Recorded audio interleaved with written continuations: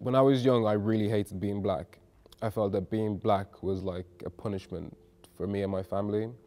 And with that, it really caused a lot of tension where we were all falling out, nobody was speaking, and you know, I just hated life.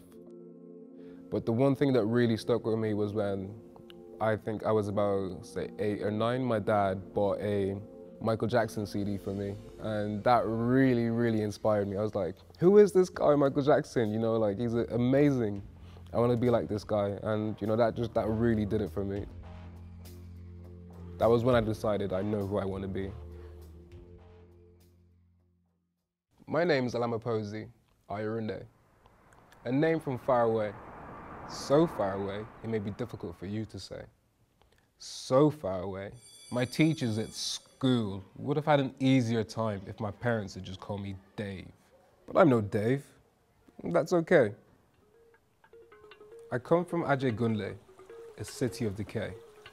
Decades of pollution and streets full of waste meant that my parents couldn't stay. So we decided to move to a beautiful island, which goes by the name of Ireland. Growing up, the clouds always seemed so grey. And in the summer, oh God, did it rain. But hey, it sounded quite funny when they tried to say my name. Olama Powersy Oyerinde. What kind of name is that? So, they decided to give me a new name. Black Junior is who I became. And this is the story of my claim to fame. It is time for your address to change. Today, you are going to be relocated. I say you are going to be relocated.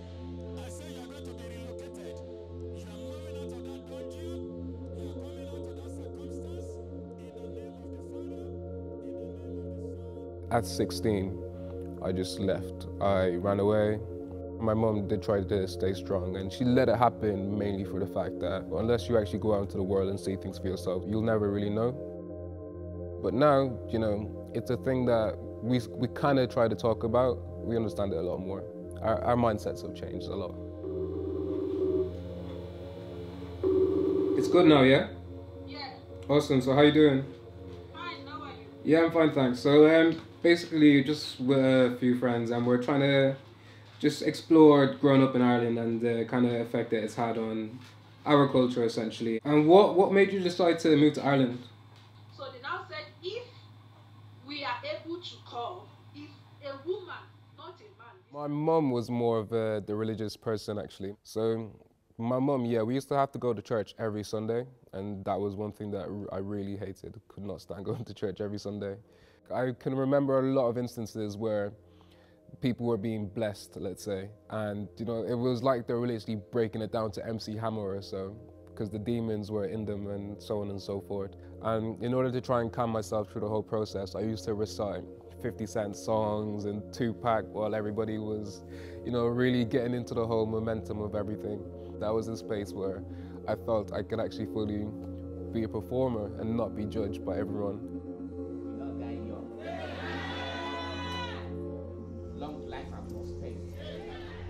My parents chose Ireland because a lady told my parents that if you move to Ireland and you have a child, you'd be given citizenship instantly. From that, they decided that Ireland would be the best place to go. Mullingar is an interesting place. We lived in Dalton Park.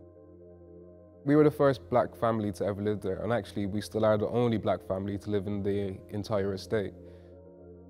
I remember coming back home one time and written on the door was niggers, and this is the black house.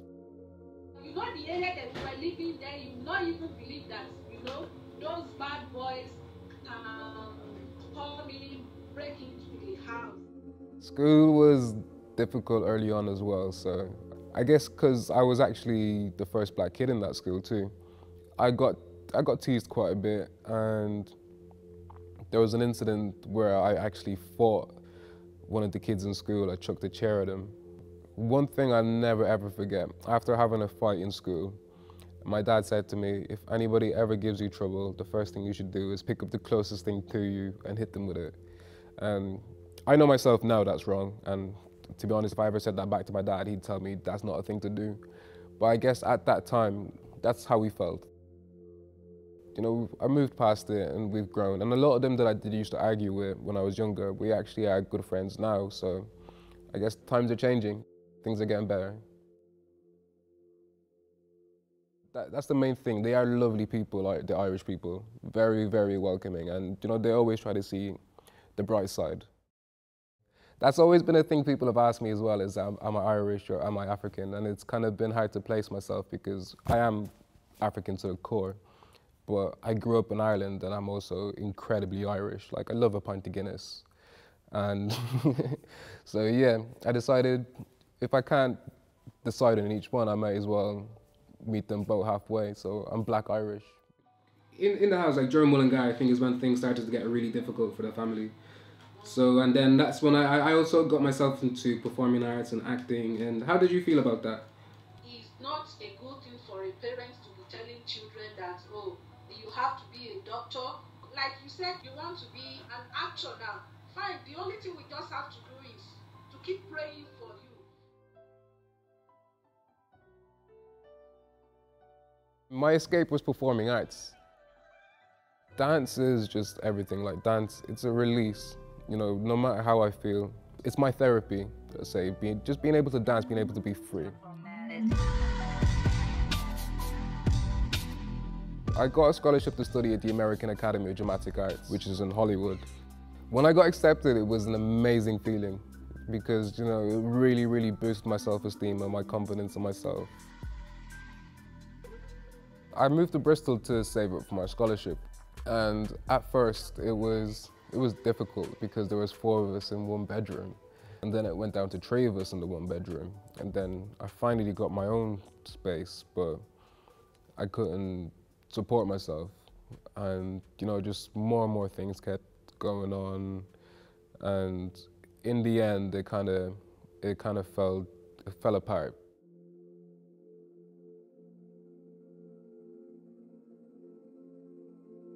It happened just outside that church, actually. I can remember them saying to me as well, there was that police camera that caught everything that happened.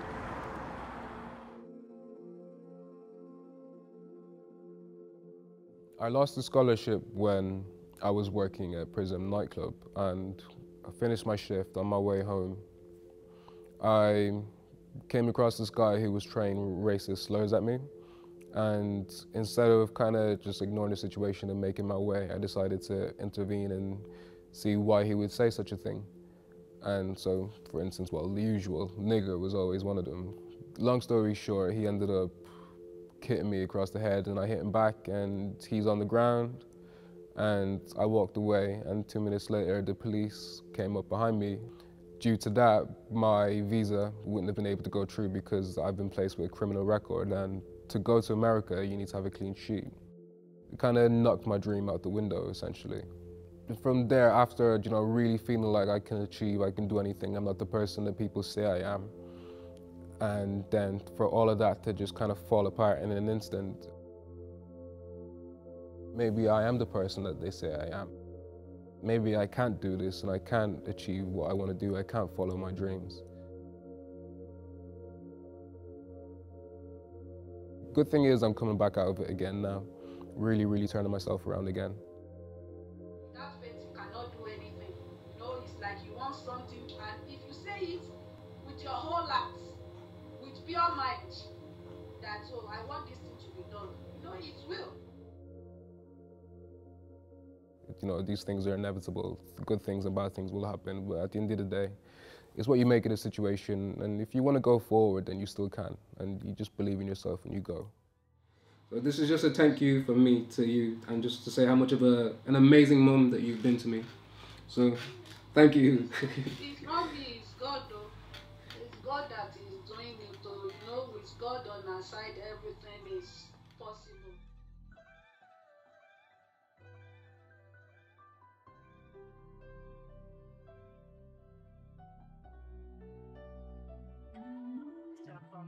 Formatted.